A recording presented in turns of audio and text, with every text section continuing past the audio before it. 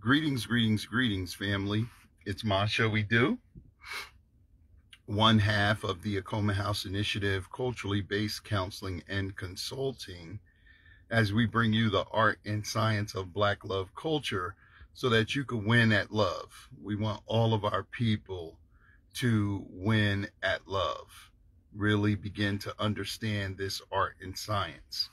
So today I'm coming to you. I won't be long, but I plan to be very strong as I discuss something important. Again, all throughout the summer, we are in the what we call the heat of love focus in our counseling firm and consulting firm. And what that basically deals with is intimacy and sex. Not sex and intimacy, but intimacy and sex because it is emotional vulnerability and intimate connection that creates a high level of sex and um, sex gratification and fulfillment. So today we're just kicking it and something that I want to talk about. I've been um, talking about a lot lately with a lot of clients is sexual regrets. So I want to ask you some questions.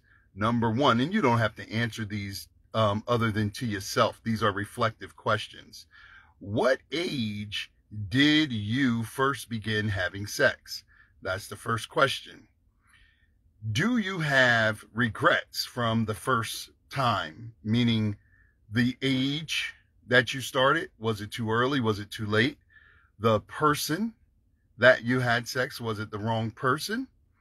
Um, or the style in which you had sex? Was it too rough? Was it too um, freaky, um, as some people say? Was it something that is um, like some people started, as they tell me, through group sex and orgies and stuff like that?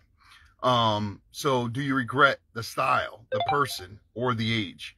Then also look at how has this, these, these first two questions affected your sexual maturity? Like how have you evolved sexually and or how has it, you know, played out in your sexual life cycle, right? So, um, there is a study that said that 85% of people regret some aspects of their sexual life. In other words, you know, it's a national study in in an Amer- in the Americas in the United States of America, and many of the people polled, 85% of them regretted some aspects of their um, sex, and it's it's oftentimes a little bit different for men and women. Um, 20 to 30% of women tend to regret uh, sex happening too young. Um, they typically regret the sex partners that they have chosen a lot of times because um, there wasn't a lot of love or nurturing. And they also tend to regret that the sex was not gratifying. In other words, they were not able to um, reach the fulfillment of their sexual experience because of the way the person had sex with them, etc. Right? So, you know, um, they just wasn't feeling the sex, right? Men, on the other hand, studies show like they tend to regret missed sexual opportunities. So they tend to regret um, people who got away, people who they wanted to have sex with and didn't have sex with.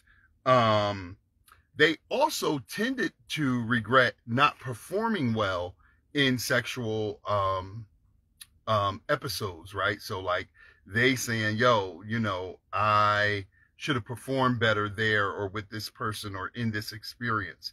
And then finally, and most stingingly, men tend to regret, um, studies show that men tend to regret um, the the byproducts of their sex act in the form of a venereal diseases and b the children that are born and this is really deep and powerful. So it seems like when we look at the study nationally, women have about um, top three regrets, you know, it happening too soon, who they had sex with, and or they weren't really pleasured.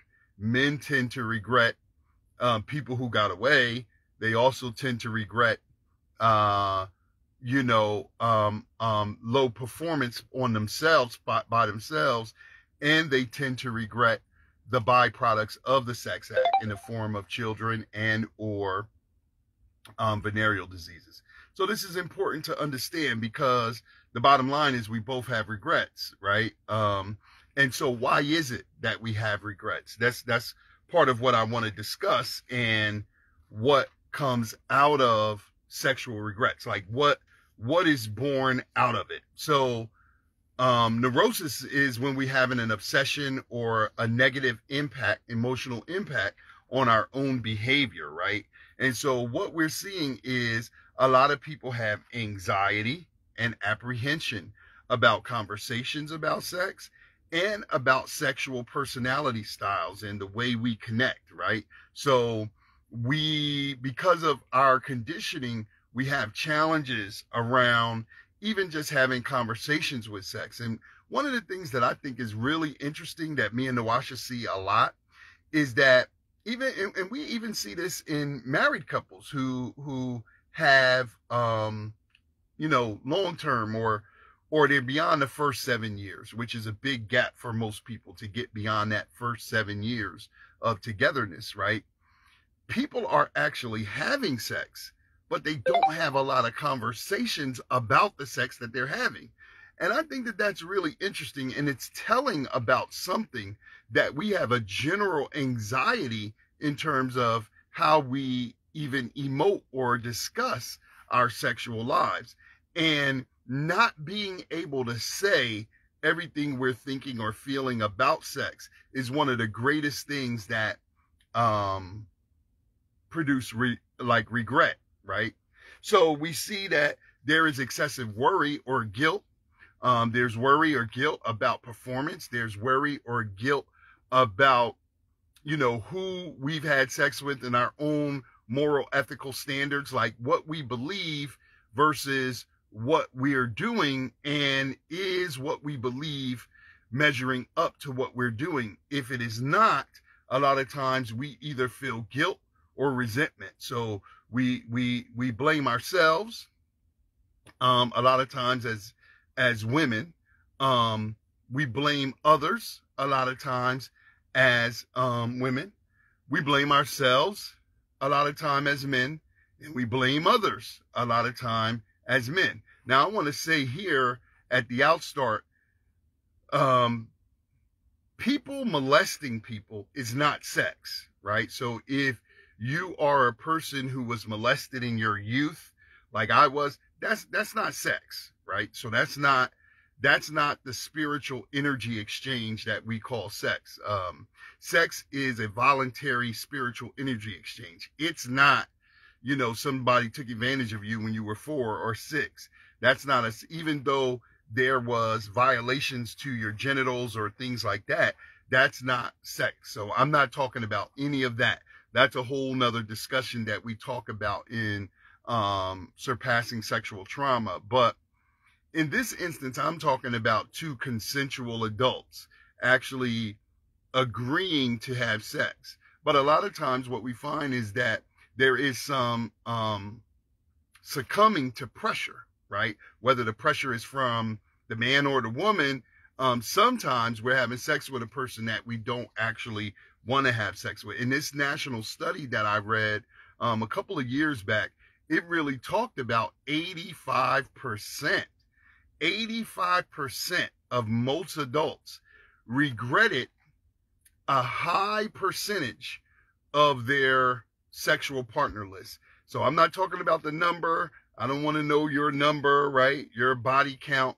But if we look at that body count, and we look at where you are today in your emotional maturity, your spiritual positioning, what is the percentage of the people that you regret? Well, I can say for me, it's probably about 99%. Um, I, I definitely have a lot of regret. And if the world were perfect, I would have been a virgin moving into the relationship with my wife, right? Um, and if I were fully prepared, fully educated, fully balanced around my whole sexual identity, I would have done that. But in that comes our social conditioning because like yo you know for us a lot of times i know speaking for on behalf of some of the men you know our whole validity and value is based on our sexual conquest. So in man culture you you you, you know especially in this western world where a lot of our sensibilities are warped we like you only a man if you got physical conquest material conquest or sexual conquest. So if you don't got one of them three in this context of what this culture is defining manhood, you can't even call yourself a man because you got to have either a lot of women, a lot of women, a lot of material possessions, or you have to have a lot of strength and power to be able to impose your will on other men. Every man who is uh, valuable or uh, quality in this context this is not our cultural way, and I'm going to get to that in a minute, but everybody who's a man has that. Now, in for women, it really is a lot of times your sexual validity is your beauty, right? And so um many women do things to themselves that they regret, but also too the women who are the most beautiful are oftentimes the most coveted. And I think all women get coveted for sex at some point in their life, but a lot of the regret is coming from, again, as I said, who's the people that you had sex with, how much and often you had sex with, if you were promiscuous at a phase of your life, and if you are now, and you know, like you know, the style of the sex, etc. You know, some people have been exposed to some really wild stuff out here. You know, it's a lot of freakish stuff, and if the wrong person catches you at the right time, you could be introduced to something from the beginning. And part of the problem that we see, along with the anxiety, the apprehension, the excessive worry and guilt, the depression and resentment, right? This depression is when you're angry at yourself. I, you know, as a clinical therapist, I, I try to tell people this often people tell me they're on meds for depression and stuff like that. And I ask them, do you know what depression is? And oftentimes they say, no, it's just feelings of, I can't get, you know, da da da, I can't get, um, can't be myself or come to myself. Well, generally what depression is, is self-anger. And you're angry with yourself about something, right? That you feel you should be able to do or that you should know how to do when you don't have that information, you get angry at yourself. Now, if you're angry at me, you could project that anger in very um, um, measurable ways.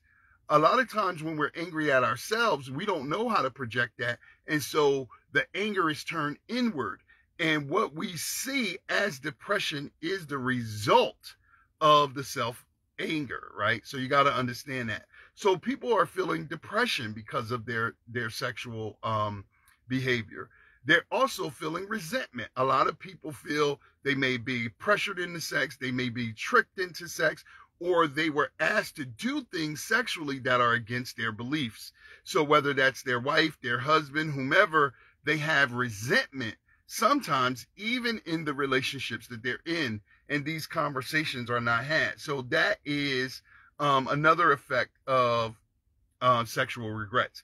We also have low self esteem and low consciousness about ourselves and our awareness in how we promote ourselves. Now, we live in a society in North America where sex is promoted to sell everything from candy bars to food to cars to all kind of things. And as I said, for women especially, your value is connected to your sexual appeal. How attractive you are becomes how valuable you are in this society. That is not correct. It is not actual actual fact, but it is the way this society moves. So this is why a lot of times little girls and older women don't even get noticed in this society. It is the women who are in their sexual primes or attractiveness of a 40 year window from like, or I'll say a 50 year window from like 15 to um 65 you know um are women over 65 beautiful? Absolutely. And sexually attractive? Absolutely. Are children under 15 appropriate to be looking at sexually? Absolutely not. Um, children 15, women, girls who are 15 are only appropriate to, you know, boys who are probably 17 on down. In fact, legally, if you 18, leave a 15 year alone, right? So, but these are some of the dynamics that happen the anxiety, the uh, apprehension, the excessive worry, the guilt, the depression, low self esteem, low consciousness, and poor stress response, right? Because sex brings on a um, trigger and response pattern, right? And if your trigger and response pattern gets poor, this becomes the um, the thing that really produces a lot of regret because one of the things is studies have shown, despite what you believe, oftentimes what happened is what becomes a normative pattern for you, like what becomes the way you get down sexually, is the way it started for you. So think about that. What is the difference between the way you started having sex and the way you you have sex now? For most people, there isn't a lot of difference. You've either evolved and matured into that in- initial style or you devolve down from that initial style. But that style, for most of us, is still guiding the way we have sex, right? It's still guiding the style that we have sex in. So really think about that and how you see that play out in your life because a lot of times we're associating um you know, pleasure responses to sex a lot of the times, whether the pleasure is physical um, titillation and satisfaction, or there is a pleasure of social status. So you're able to advance, you're able to have a um, persuasive power over a person because you're having sex with them or someone they know that is also important to them. So it's a secondary um, it's a secondary thing that you that you gain power from.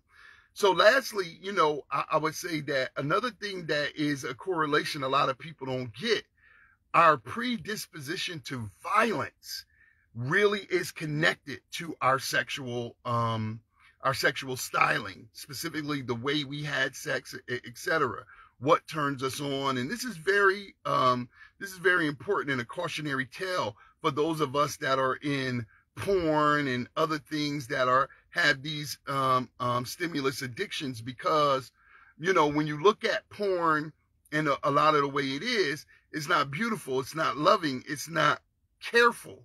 You know not not to say that there's anything wrong with force power and intention but it's actually usually when you know when you weigh it on a scale of support love nurturing and abuse neglect and um, misuse, you will see that it leans it, it leans um, more to the out to the second than to the latter than it does to the former, right? So when you see it, I, I I was addicted before, so I've watched a lot of porn, and I've seen, you know, like men and women, but more women than men getting trashed in porn, right?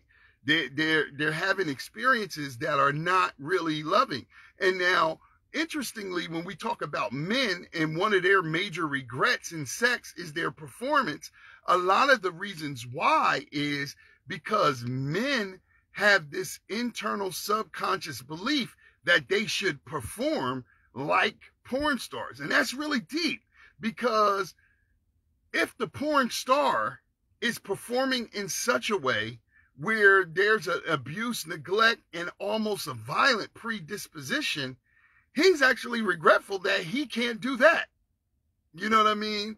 And so we see this in our in our thinking, we see this in our speech, and we see this in our behavior where this this preoccupation for destroying the P, the punani, or killing it, or all of these violent terms.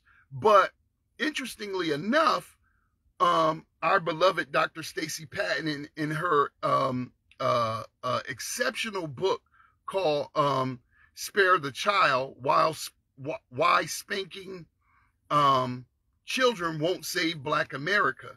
she does a whole psychoanalysis and social analysis on the history of spanking and how we learned that during slavery that is not our way. And many of the comedians and all of the people of a certain generation believe that they're better off from getting their ass whooped. That's really crazy because we don't know of another constructive discipline. So we're saying oh i'm i i behave because i got my ass whooped but then we complain if the police whoop your ass. So which one is it? Do you do you act better if somebody whoop your ass or you don't?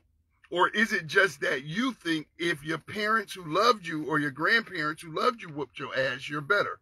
But in any point, what she shows is there is a direct correlation between making between um, physically corporal punishment and beating uh, beating pubes- prepubescent children and their proclivity to be promiscuous. There is a direct correlation to all of that physical violence and what is going to make a child promiscuous as they hit puberty. And on the other side, I'm contending a lot of studies are showing if you are promiscuous and you are um, introduced to um, a lot of violence, when you become sexual, there is a subconscious correlation of uniqueness in physical contact. In other words, fighting a person that you say you love and fighting them during sex becomes linked. So if I love you, it's okay for me to trash you, throw you around, smack you, push you down, etc., etc. And so there is a psychodynamic that creates regret from that style of abuse. And the, a part of the psychodynamics of confusion is this it's abusive and it also feels good. So this becomes an internal conflict. But that lends to a larger um, um, a, a larger issue where we're using sex to supplement or to supplant things that we didn't get in our development. And this is like, this is the clinical therapist in me talking for real. This is like the core of it, y'all. So the seven human needs that we strive to get in our psychological development and that we need, they're needs. They're not wants, something that we will want to have. There's something we need like air.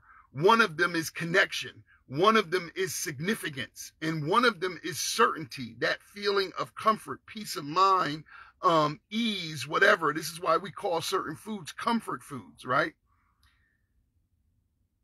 a lot of us can only get that need met from food and sex and sport and play. Those become the three ways that we get that need met on a regular basis. And because that becomes the way that we get those needs met, we develop addictions to improper bonding.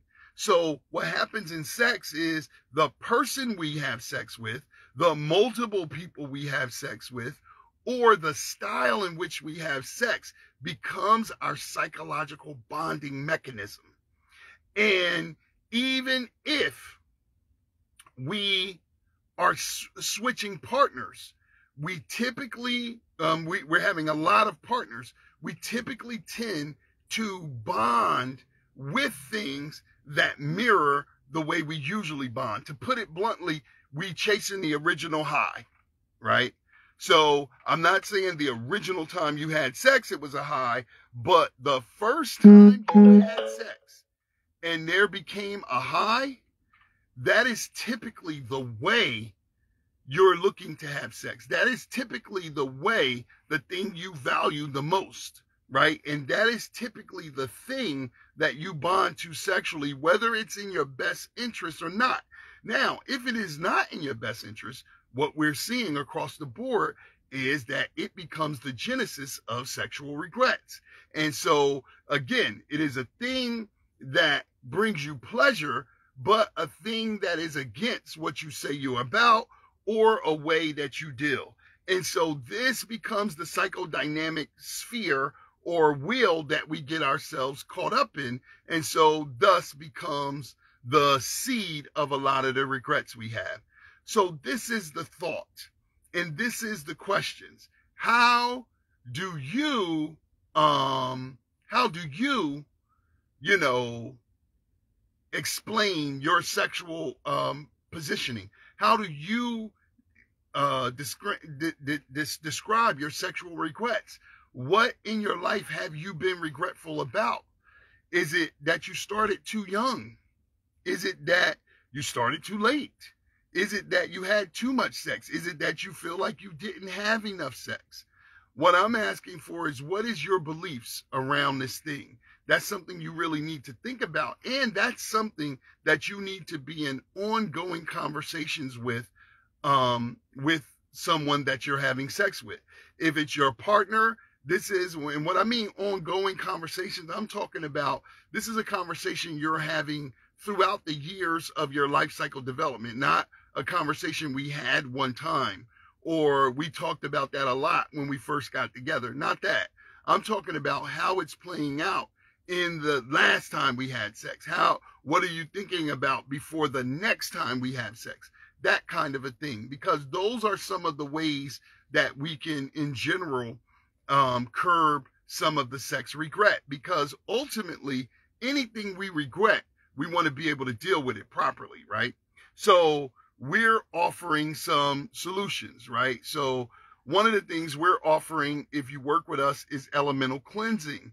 So you're going to use the elements of earth, air, fire, and water to ground yourself around moral, ethical things, to elevate yourself in an airy way, in a visionary way, to cleanse through um, water therapy and, and some ritual techniques, but then to also um, cleanse yourself in terms of beliefs.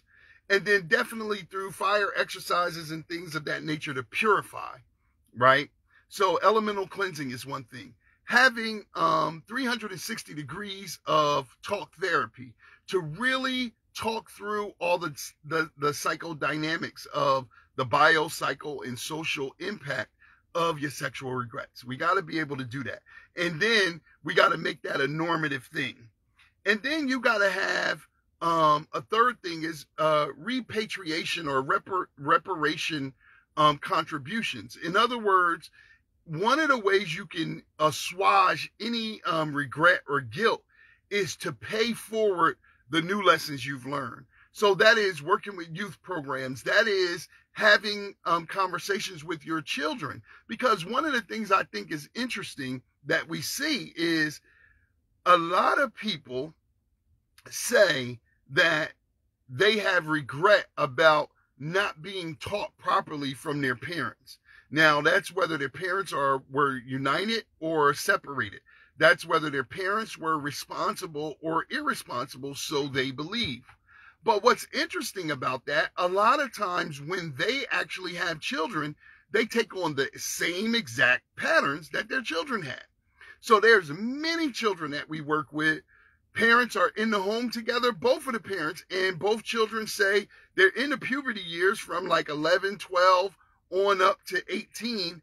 And they say the parents ain't really talking to them about sex. Their parents are talking to them about preventative measures like don't get a disease or don't get pregnant. But that's not actually talking about sex. We have to actually normalize talking about the sex act, the emotions, the psychology that go around it, because to not do that is setting your children up to have regrets. And so a lot of times we will think that we're doing something different than our parents because the circumstances look different.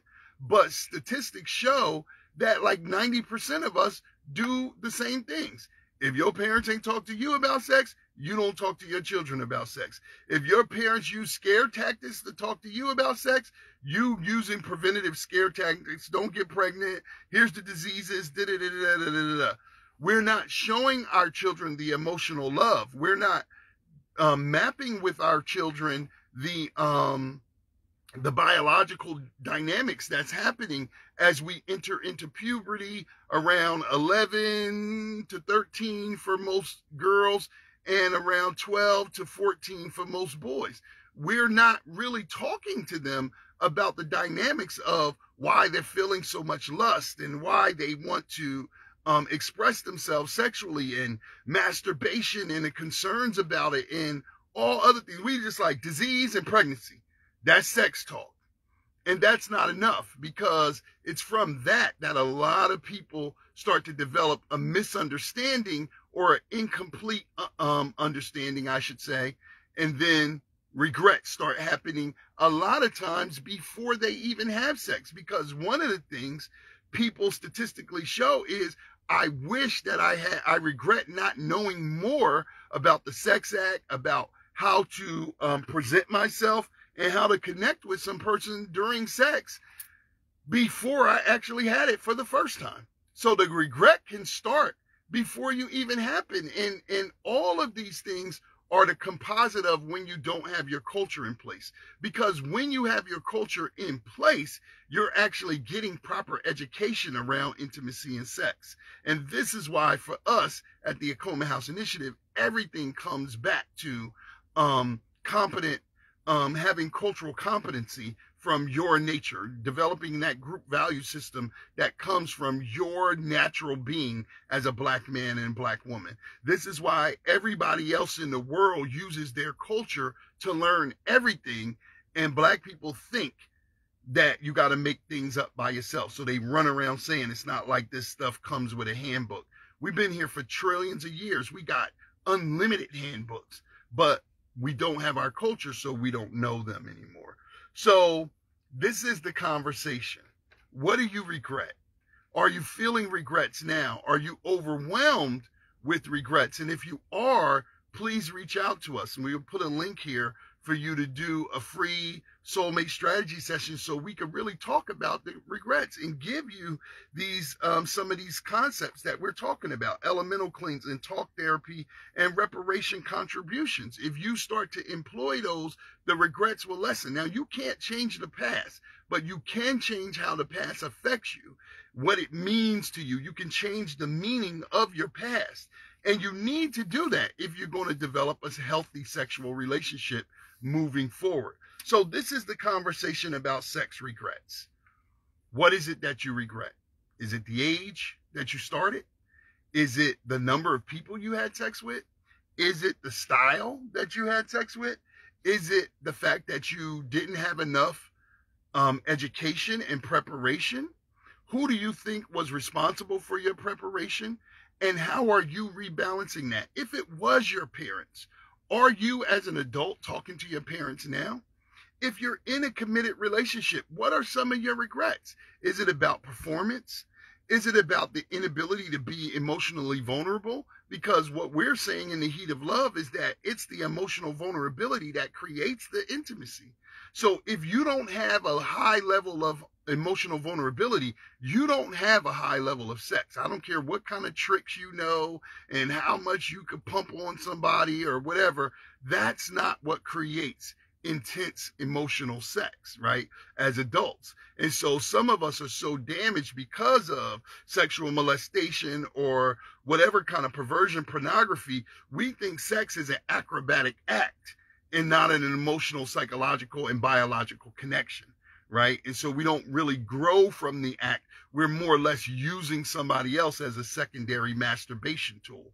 Um, instead of masturbating with my hand, I'm going to use you to masturbate but when we look at are we elevating or the children we create, not just the biological children, but the spiritual, um, mental children that we create when we have sex, those things that continue to move on um, in the invisible part of ourselves, that's actually a child, right? It's something that two people came together and created that that thought sequence or that emotional response and so that thing begins to grow and change and impact our lives the same way a physical child would in the material world so we got a, a new class coming out called no more stds in the black love school and the std stands for spiritually transmitted disease not just sexually transmitted disease so this is the question on the floor as we deal with sexual regrets. What are your regrets? How have you managed to overcome those regrets? And what are you doing to rebalance and pay forward that information so that more people don't have regrets? Um, that's the question. If you want help, um, this this season in the Black Love School, we are in the season of of the heat of love, where all the classes and conversations are about intimacy and sex, intimacy and sex, intimacy and sex, not sex and intimacy. Everybody could talk about that sex stuff, but very few of us could talk for about 10 minutes straight on how to create intimacy and how to build a strong, intimate bond so that you can have amazing sex, um, gratifying sex. Uh, it, especially those of us that are in relationships. The single people oftentimes are the most delusional because they can, there's no real measurement, trajectory measurement. Like, you know, I'm not even sexually active with the same person or with a person long enough to really measure over a longitudinal study. So it's all about latitude. How high was it? How good was it? And then I'm out. But when you're in a long-term relationship, it's more um, holistic because you're measuring latitude, but you're also measuring longitude over a sp- uh, over a period of time. And when you do that, if you don't have intimacy, the sexual experiences you're having are trash. And unfortunately, for most of us, we've been having sexual trash so much our life, we don't even care. We like, if this trash, I'm good with it because this all I need. Not realizing that there's a whole nother level that we could be experiencing. And actually, statistics show the more fulfilling sex becomes, the more holistically, emotionally, psychologically, sociologically, and biologically it becomes, the actual less sex we're having. But it's just like food. If you get really good nutrition, you don't feel the need to eat all the time. But if you eat a bunch of junk and it and it strips from your body and doesn't give your body cells, you are always hungry. So join us in the Black Love School for this semester, The Heat of Love. We got two new classes. We started last Friday with the seven senses of sex. We're going to be showing ritual love making. We're going to be doing sex talk, sex diets, and the two new classes, um, the promiscuity paradox and no more STDs. If you want um, the deepest and most profound work, you want to join Akoma Soul. And soul stands for a self and others understanding love systems, right? And then, and that includes sexual systems. That's our premier program, 10 week program where we're teaching you the top seven skills. And one of those skills is intimacy, how to build intimacy in sex. So we're offering these um, sadakas, these offerings for you so that you can grow and build in your knowledge, wisdom, and understanding in the art and science of Black love, um, love culture so that you could win at the intimate relationship. Stop winging it. Stop trying to um, convince yourself that you're doing so great because you're not doing as bad as others. You never want to compare yourself to the worst of the worst, which is what we mostly do. How you doing? Oh, we doing great. How do you know? Because we ain't fighting, we ain't killing each other, we ain't whatever. That's the worst of the worst. Compare yourself to the best of the best, and we will all see that we're not doing as well as we think we are. So that's my love. That's my offering on sexual regrets. Please comment, like, and share if you feel that it has any um, value to yourself or someone that you that you love so that you can um, spark conversation. If you're in a couple and, and only one of you is seeing this right now, definitely share this with your partner and say, hey, what do you think about this? What are some conversations that we need to have around our sexual regrets and our history? Because the reality is, most of us have sexual regrets because in a broken culture, you're not going to have the proper education that you need.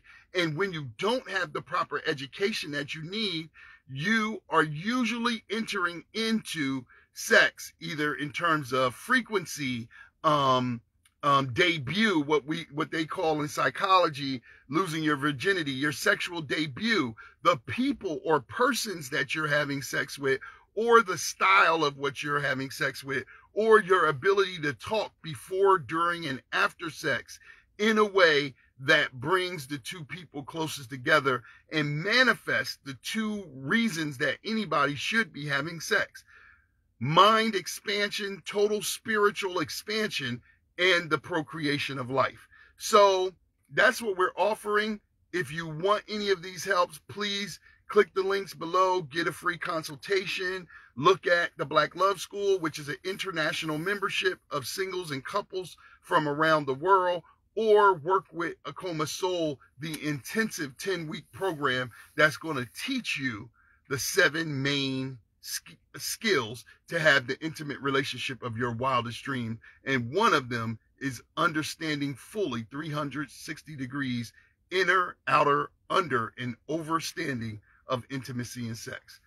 I'm your brother, We Do, greeting you in the eternal words of the art and science of black love culture so you can win at love and have the most amazing sex on the planet that is built by the greatest intimacy on the planet within your nature and within your culture. As always, looking forward to talking to you soon. Until that time, Nia Akoma, take heart.